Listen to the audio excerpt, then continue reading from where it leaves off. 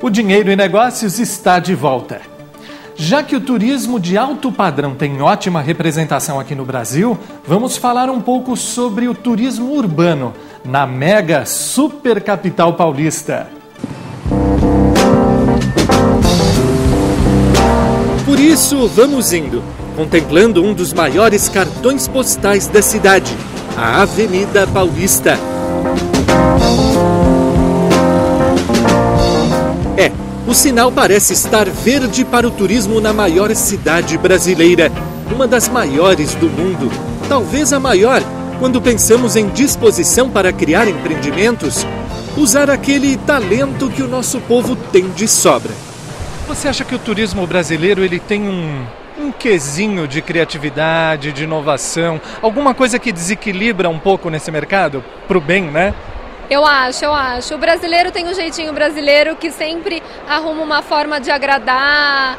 Nós, por exemplo, nós temos alguns diferenciais de atendimento que um carinho, um, um serviço personalizado que dificilmente é, alguns hotéis internacionais têm esse jeitinho que o brasileiro tem. E é isso que os, os estrangeiros gostam e o brasileiro mesmo precisa começar a valorizar isso aqui no Brasil.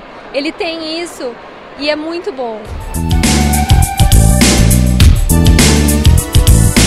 Este empresário, por exemplo, trabalha na região da Avenida Paulista há quase 20 anos.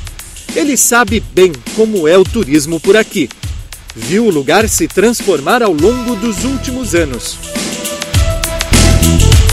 Paulo, como é que você vê o turismo aqui na capital paulista, especialmente nessa região, né, que você já trabalha há 18 anos?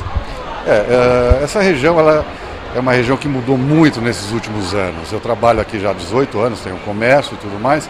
E você percebe que, principalmente nos finais de semana, é, mudou o público. Hoje nós temos muitos turistas, nós temos aqui aos sábados à tarde, domingo à tarde, turistas é, internacionais, estrangeiros e tudo mais. E os hotéis da região que você percebe que está sempre lotado, sempre com eventos diferentes e tudo mais. Então, é mais ou menos isso. Mudou muito nesses anos.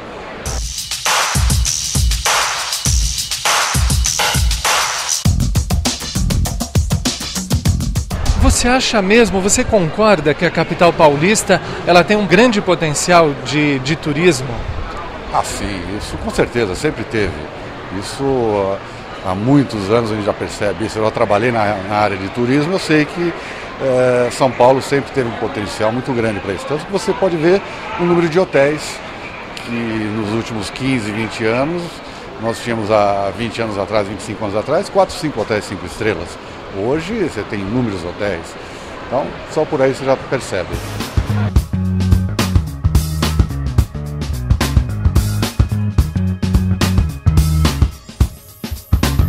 Você acha que o turismo aqui na capital paulista, ele acontece também em alto padrão, em, em vários segmentos do executivo?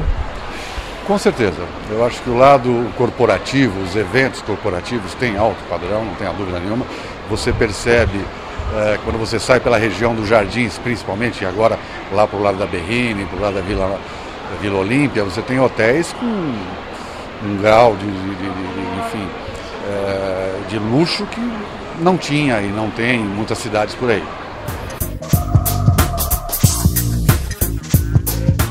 Fala um pouquinho da tua experiência nessa área de turismo quando você trabalhou. Uh, eu trabalhei na área de hotelaria, para ser mais exato. Não trabalhei com turismo, mas na hotelaria. Isso foi na época do Brasilton e Hilton, trabalhava na rede Hilton. Então, e depois, logo depois, eu comecei uh, montando flats, montando a parte de hotéis, na época que lançaram os flats. Aí eu comecei a fazer uh, o lançamento de pool de locações. Eu fiquei alguns anos, fiquei quase 15 anos nessa área. E aí depois eu saí, resolvi montar meu comércio e tal, mas foi uma experiência uh, gratificante na área de turismo, com certeza. Tanto que hoje até minha esposa trabalha em turismo, então, uh, e ela faz eventos em São Paulo, trabalha numa empresa de eventos e promove eventos em São Paulo. Então a gente sabe exatamente onde tem coisas boas, onde não tem.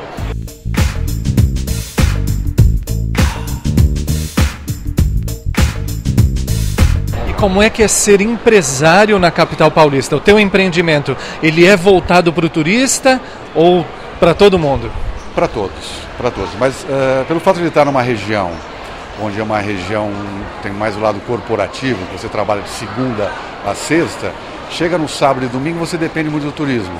E aí você tem no sábado à tarde, no domingo à tarde, uma frequência de turistas na região onde o teu ticket médio, como o meu é um comércio de varejo, tem um ticket pequeno e de repente ele aumenta exatamente por esse por, por ser turista. Ele vem aqui, enfim, ele quer consumir, não importa o quanto custa, quanto vai, vai gastar. Então, no final de semana, com certeza, eu dependo do turismo.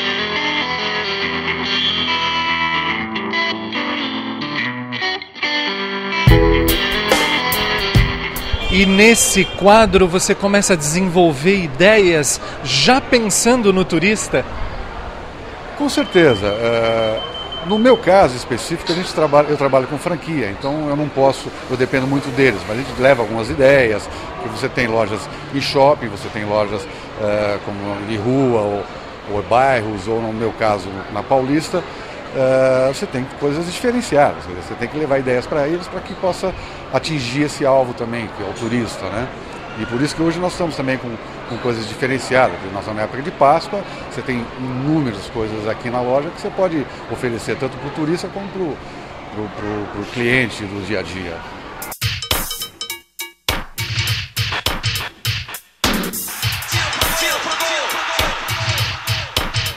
Você observa que o Brasil também tem um potencial nesse nicho de alto padrão?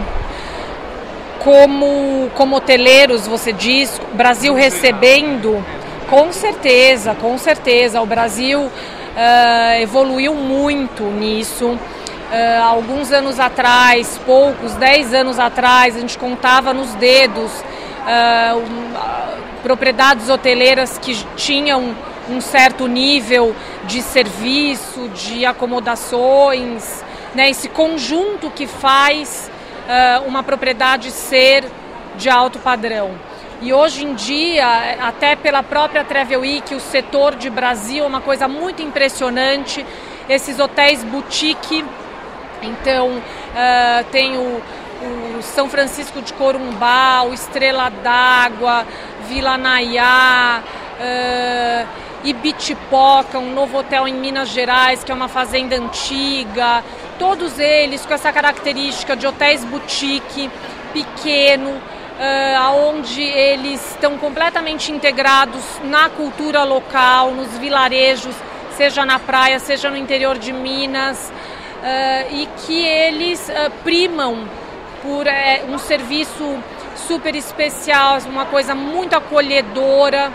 Então o Brasil está evoluindo muito. E o Brasil como destino também para os brasileiros e para o próprio gringo, né, para o próprio estrangeiro, é maravilhoso, né? O brasileiro é um povo super amável. Eu viajo o mundo inteiro e é difícil da gente é, encontrar de uma forma genérica, assim, né? Pessoas tão dóceis, tão amáveis. Então eu acho que o Brasil tem tudo para ainda decolar ainda mais.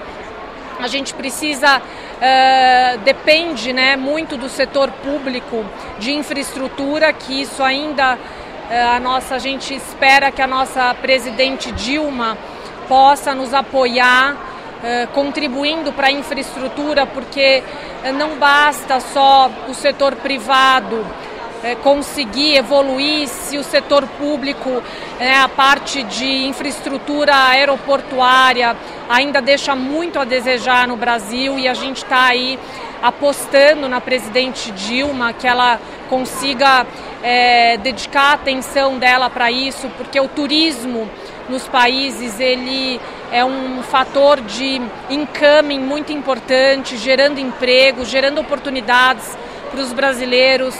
Então a gente espera que a gente possa evoluir muito na parte de infraestrutura também.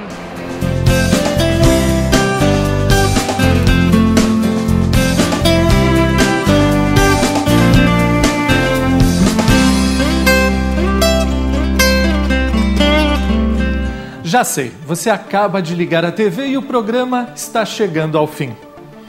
Então continue no Hit Notícias, que além do Hit Sports, do Fashion Hit, que fala sobre o casamento real na Inglaterra, que atrai ainda mais turistas à ilha da Rainha Elizabeth II, e como você já sabe, tem mais exibições do Dinheiro e Negócios.